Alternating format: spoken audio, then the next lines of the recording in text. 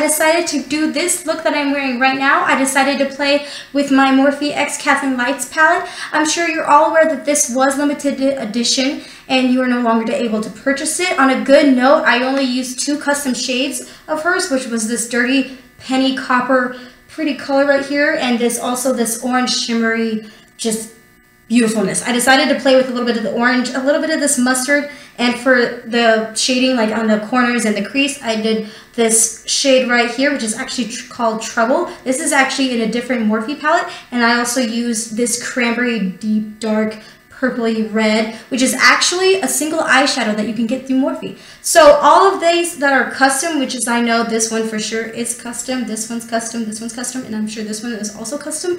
All of Kathleen Light's customs are just are mainly the ones that are the limited edition. The rest of these, there's only like what six that she did that were custom made out of this palette. The rest you can actually still go through Morphe. And the only ones that I used that were custom, I'm sure you can duplicate with something. Like you can even use a highlighter. I've seen some gals use it and I think it's just so amazing.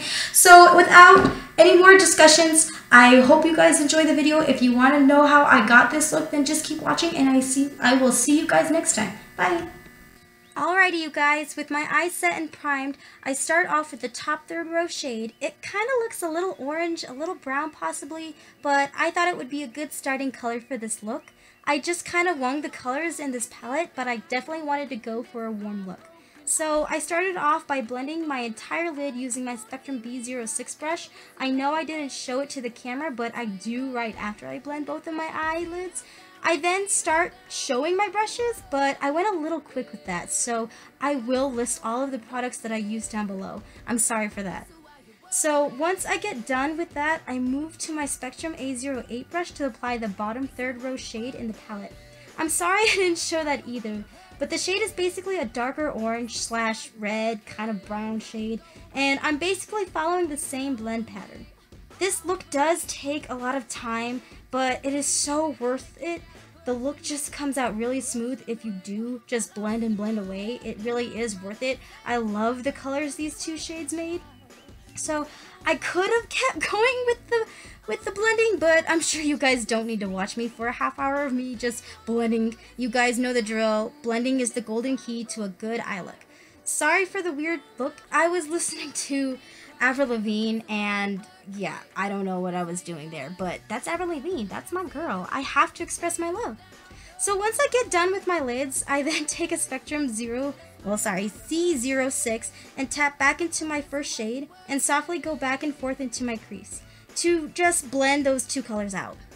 I then take my Spectrum A13 to apply my bottom fourth shade it's kind of like, what, a honey mustard color, I would say? I wouldn't say just mustard. It's not really bright. It's just kind of just a darker yellow. I don't honestly know why I used the shade. I just kind of went for it. Um, I know that you don't have to add it if you don't want to, but if you want to go big, then go for it. You have my support, 100%. I went so slow here, but oh well. Yay! I finally show the palette after a couple times. Not, I'm sorry, but I wanted my crease to be a little bit darker, so I grabbed my Spectrum A12 to build off that deep cranberry color I used, and I continued to blow on my brushes because I don't always have a soft hand when I apply, so I always take a, uh, always take uh, extra color off when it comes to steps like these. I do it slowly, it becomes worth when you take your time. I definitely learned the hard way. But now it's time for some shine once I get done with this. So I take a Spectrum A13. I have a lot of Spectrums. When I got the brand, it came with like 34, so I will try and find different brush sets so you guys don't get sick and tired of hearing Spectrum. But anyways, A13. I use this and tap into Kathleen Light's custom top fourth row shade, which is, it's basically a clean penny shade, and I take it basically to the center of my lids. I thought this would be so pretty. I really did. I love the colors Kathleen Lights put in this palette, but hey, like I said, just because you can't get the palette doesn't mean you can't reach for these colors through Morphe. I believe in you. Sorry. So, here I am going back and forth into B06 to blend the crease. I did clean it off camera, so yeah. That's just what I did. Don't worry about it. It's clean, even though, hey, no one's perfect. Anyways, I don't want to add any more at the moment. It's why I cleaned it. I wasn't just, I wasn't ready to just want to even, to, I just, ugh, sorry, I just wanted to even look out. So then I take a Spectrum A16. It's just a flat round applicator and dip it into her other costume shade that kind of looks like a, a dirty penny now and apply to my outer corners to hype it up a little bit, if that makes any sense. Then I basically reuse A12 to use the second row. It's basically the first on the top shade, which is in a Morphe palette, I believe. I believe it actually is. I will let you know which palette it's in. It's just all I basically do. Wait, no. Memories Refreshing this shade is in a palette and I will just place it down below with all my other listed products. The shade is actually called Trouble. It's actually just a cool tone brown and I just use it to deepen my uh, corners just a little bit. I think I'm gonna just start tapping the palette the palette to reduce how much is on the brush because I just think my face looks a little bit too weird, but I do have trust issues with that. I just don't know yet. I'm so indecisive, just personal problems. So anyways, I use a Smudge Eco Tools to go into my uh, very first shade to go over Trouble to just blend the whole look out. It's just basically all I'm doing. I just wanted everything to look a little bit even. So before I work on my under eye, I want to get this face caked. So I used the Argan Oil Primer and just wanted to skip that part. Not gonna lie, I didn't like the way my armpits looked a little in the camera. Sorry, it was weird. But moving on, I decided to look matte. I used the Fit Me Matte Poreless in Ivory and I used a two-step blend. I first use a Spectrum A02 to first apply and then I take a beauty blender just in case. I don't have any streaks. I didn't see any, but I just, I wasn't taking any chance. I just wanted just to double check, make sure I had a smooth, just baby's butt face. So I use the Anastasia Beverly Hills contour kit to set the face. I had to skip my concealer. I couldn't find it, so just moving on to that. I use Spectrum A04 for my con contour. As always, it's just the brush I love to use to add to it. And I'm just going into that middle banana color shade just to basically light up my T-zone is all I'm doing. Basically right there. So I use this fluffy A01 brush and dip into the contour shade and apply everywhere. Sorry if I'm skipping a little bit ahead. I know I was taking a little while here, but I just wanted to make sure. There it is. There's my A01 brush.